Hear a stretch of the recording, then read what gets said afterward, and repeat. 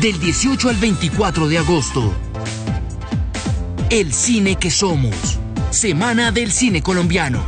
Hashtag el cine que somos. Les habla Marciano Martínez. Tengo el gusto de invitarlos a ver la película El viaje del acordeón. que estará presentando el jueves 18 de agosto en el barrio Villahermosa de Fonseca. Nos vemos en el parqueadero, allá los espero, ¿ah? a las 7 en punto de la noche. Dedik.